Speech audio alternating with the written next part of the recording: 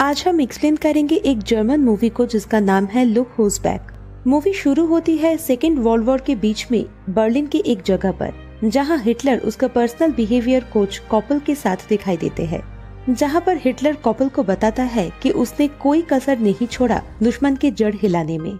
दूसरे ही सीन में हिटलर खुद को पाता है एक जंगल में लेटे हुए और आसमान में हिटलर को कोई भी दुश्मन का हवाई जहाज़ दिखाई नहीं देता है। पर उसको लगता है कि शायद दुश्मन कुछ देर के लिए आराम कर रहे होंगे। अचानक एक बॉल उसके तरफ़ आता हुआ दिखता है और उसके पास आके रुक जाता है। उसके बाद वो ज़मीन से उठता है और बिल्डिंग की ओर जाने लगता है। तभी हिटलर अपने सामने तीन बच्चों को देखता है और उनमें से एक हिटलर की तबीयत के बारे में पूछता है। हिटलर उन बच्चों को देखता है और सोचता है कि ये सब बच्चे ही देश का भविष्य है और बच्चों को मेन रोड का पता पूछता है। उसी सीन में फैबियन नाम का एक आदमी जो कि जर्नलिस्ट है, वो बच्चों को शूट कर रहा होता है और हिटलर भी उस वीडियो में रिकॉर्ड हो जाता है। हिटलर अपना आर्मी कैप उठाता है और खुद को कहता है कि उसको अब बंकर लौट जाना चाहिए। हिटलर जब स्ट्रीट पर पहुँचता है, वो अचंभित हो जाता है। ये देखकर कि कुछ लोग मोनोवेल बाइक चला रहे हैं। आसपास के जो लोग थे, वो अपने फ़ोन से उसको कैप्चर कर रहे थे। वहीं पर एक मॉडर्न कार को हिटलर टच करके देखता है और सोचता है कि शायद वो कोमा में था और वो सेकेंड वर्ल्ड वॉर के विक्ट्री को मिस कर दिया। वो समझ जाता है कि कुछ तो गड़बड़ है और वो इन्फॉर्मेशन कलेक्ट करने में जुट जाता है अपनी सिचुएशन को समझने के लिए। हिटलर आसपास के लोगों से बहुत डिस्टर्ब फील करने लगता है। उसके बाद हिटलर चलने लगता है और देखता है कि एक औरत अपनी फ़ोन में जर्मन में कुछ बात कर रहे हैं। तो वो उस औरत के पास जाता है और करेंट डेट पूछता है। पर वो औरत डर जाती है और हिटलर के आँखों पे पीपर स्प्रे कर देता है। पीपर स्प्रे की वजह से हिटलर को सब कुछ धुंधला दिखने लगता है। जैसे तैसे पास के एक न्यूज़पेपर शॉप में वो जाता है और डेट को देखते हुए वो आश्चर्यचकित हो जाता है और सेंसलेस हो जाता है। एक दूसरे सीन में एक टीवी चैनल का बॉस कर्नर चैनल के डेपुटी हेड क्रिस्टफ को प्रेज करते हुए दिखाई देते हैं उसके अच्छे काम के लिए। पर मैनेजिंग डायरेक्टर के लिए उसी कंपनी के एक दूसरे एम्प्लॉय काटिया के नाम लेते हैं। इसी बात से क्रिस्टफ दुखी हो जाते हैं। उसके बाद वो अपने केबिन में आता है और एक स्ट्रगलिंग फ़िल्म मेकर फेबियन के ऊपर अपना सारा गुस्सा निकालता है। हालाँकि फेबियन अपना पूरा एफर्ट लगा देता है अपने बॉस को समझाने में, पर फेबियन को ऑफ़िस से बाहर निकाल दिया जाता है। कुछ देर बाद हिटलर को होश आता है और दिखता है कि वो उसी न्यूज़पेपर शॉप में है। और पूछता है कि आज का डेट क्या है। वो न्यूज़पेपर ओनर आज का डेट 2014 का बताता है। हिटलर पूछता है कि क्या उसको किडनैप किया गया है? और वो सोचता है कि शायद ये दुश्मन देश का ही चाल है। वो शॉप ओनर को ये बोल के डराता है कि उसे मार दिया जाएगा अगर वो दुश्मन देश के साथ मिला हुआ है। पर शॉपकीपर हिटलर को पूछता है कि क्या हिटलर के ऊपर कोई डॉक्यूमेंट्री बन रहा है? और बताता है कि आप एकदम हिटलर की तरह ही दिखते हो। उसके जवाब में हिटलर कहता है कि मैं ही हिटलर हूँ। उसके बाद वो न्यूज़पेपर पढ़ने लगता है और समझ जाता है कि वो वॉर हार चुके थे। और हिटलर समझ गए थे कि पोलैंड अभी भी एग्जिस्ट करता है और ये वॉर एक टोटल वेस्ट था। एक दूसरे सीन में फेबियन अपना रिकॉर्ड किया हुआ वीडियो देख रहा था और ये सोचते हुए दुखी हो रहा था कि उसका जॉब अब नहीं रहा। तभी फेबियन की माँ दिलासा देती है कि चिंता मत करो, तुम्हें जल्द ही यूट्यूब में कोई ना कोई काम मिल जाएगा। तभी फेबियन की माँ वीडियो को पॉज करने के लिए कहती है और पीछे हिटलर दिखाई देते हैं। वहाँ न्यूज़पेपर शॉप में शॉप ओनर हिटलर को पेपर को साइड में रख के बाहर जाने के लिए कहता है। हिटलर थोड़ा गुस्सा हो जाता है ये सोच के कि कोई उसको काम करने के लिए ऑर्डर दे रहा है। शॉप ओनर हिटलर को अपना क्लॉथ क्लीन करने के लिए कहता है क्योंकि वो बुरा स्मेल कर रहा था। तो हिटलर एक लॉन्ड्री जाता है और यूनिफॉर्म क्लीन करने के लिए कहता है और पूछता है कि दूसरा कोई यूनिफॉर्म है कि नहीं, क्योंकि ऐसे हालत में वो बाहर नहीं जा सकता। उसके बाद हिटलर दिखाई देता है मॉडर्न ड्रेस में और दूसरी तरफ़ फेबियन हिटलर को ढूंढते हुए पेपर शॉप में आ पहुँचता है। फेबियन हिटलर को इस ड्रेस में देखकर हैरान हो जाता है। तभी फैबियन हिटलर को पूछता है कि उसको लेके एक फ़िल्म बनाने का सोच रहा है, जिसका सब्जेक्ट है हिटलर इन मॉडर्न टाइम। तो हिटलर मान जाता है। फेबियन अपने माँ से कुछ पैसे और गाड़ी लेकर शूट करने के लिए निकल पड़ता है हिटलर के साथ। दोनों एक होटल रूम में जा पहुँचे और टेलीविज़न को देखकर हिटलर चौक गए और हिटलर डिसाइड करता है कि वो फेबियन के डॉक्यूमेंट्री में पॉलिटिक्स को लेकर बात करेगा।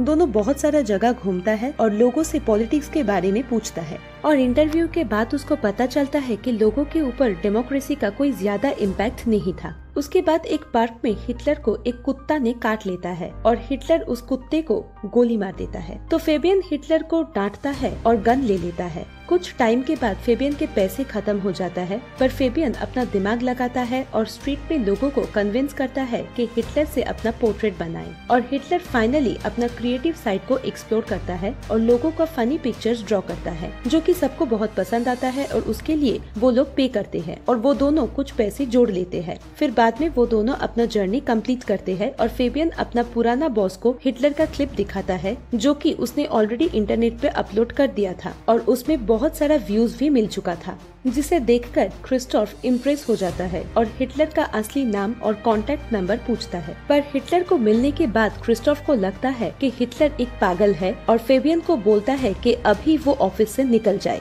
पर दूसरी तरफ़ हिटलर मैनेजिंग डायरेक्टर के पास चला जाता है और कहता है कि चलिए एक साथ हम जर्मनी को बचाते हैं। ये बात डायरेक्टर को पसंद आती है और वो उसके प्लान के बारे में पूछती है। उसके बाद एक टीवी ब्रॉडकास्ट का प्रिपरेशन चालू हो जाता है। उसके बाद फेबियन क्रिस्टोफ से अपना जॉब वापस माँगता है। नहीं तो वो हिटलर को लेकर वापस चले जाएगा, ऐसा धमकी भी देता है।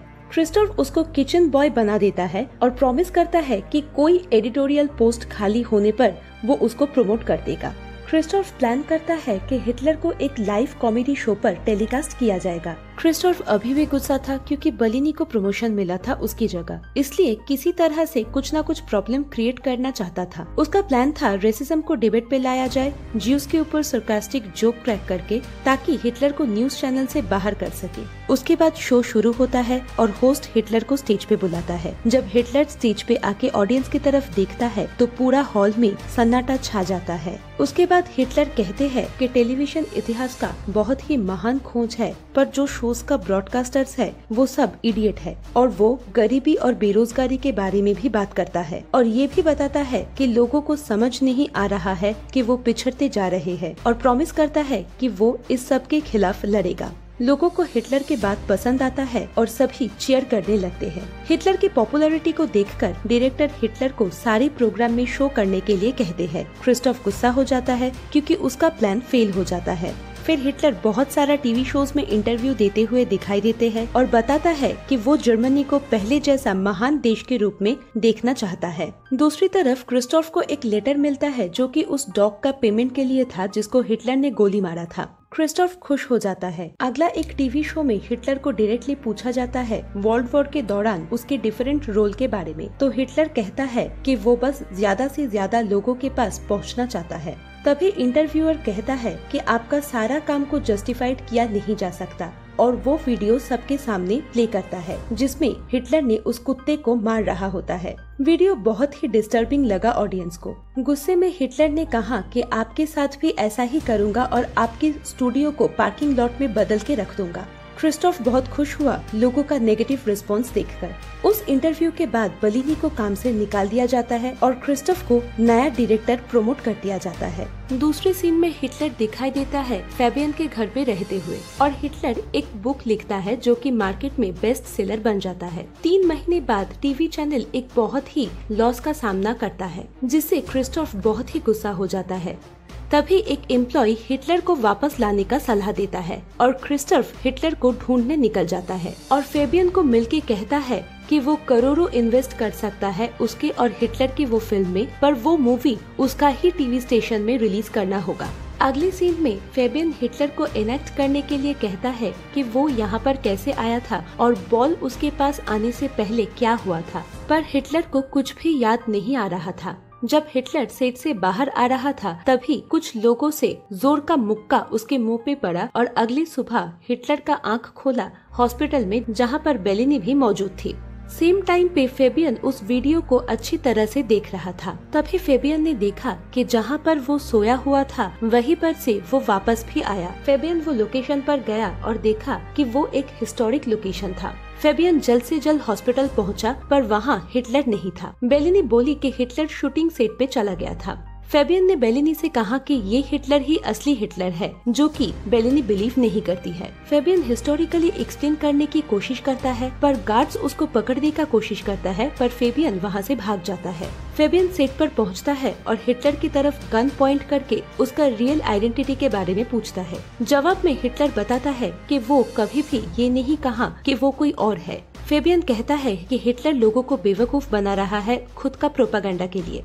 फेबियन हिटलर को छत के एक कॉर्नर पे लेके जाता है और उसको मॉन्स्टर बुलाता है, जिसका जवाब में हिटलर बताता है कि लोगों ने सब कुछ जानते हुए हिटलर को इलेक्ट किया था, क्योंकि सभी लोगों के अंदर भी हिटलर जैसे ही मानसिकता है। उसके बाद गुस्से में आके फेबियन हिटलर को गोली मार देता है और हिटलर बिल्डिंग से गिर जाता है। तब फेबियन को हिटलर का आवाज़ सुनाई देता है कि कोई भी जर्मन हिटलर से बच नहीं पाएगा और पीछे मुड़ते ही देखता है कि हिटलर उसके पीछे ही खड़ा है जिसे वो अभी अभी बिल्डिंग से फेंक दिया था। बस तभी बेलिनी कट कहती है और स्टूडियो के अंदर सभी मिलके चीयर करने लगता है। तभी पता चलता है कि ये जस्ट एक फ़िल्म का शूटिंग हो रहा था और कोई रैंडम एक्टर फेबियन के रोल प्ले कर रहा था। किसी और सीन में फेबियन को दिखाता है एक मेंटल असाइलम में और दूसरी तरफ़ बेलिना और हिटलर ऑटोग्राफ और इंटरव्यूज़ देने में बिज़ी था, क्योंकि वो फ़िल्म बहुत ही बड़ी हिट हुई थी।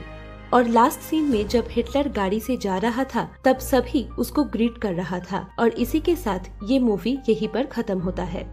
और अगर आप जानना चाहते हैं कि एक रानी समुद्र राक्षस का दिल निकाल के क्यों खाती है तो राइट साइड के वीडियो पर क्लिक करें। चैनल को प्लीज़ सब्सक्राइब कर लीजिएगा, क्योंकि हम रोज ऐसे ही वीडियोस अपलोड करते रहते हैं। वीडियो को अंत तक देखने के लिए बहुत बहुत धन्यवाद।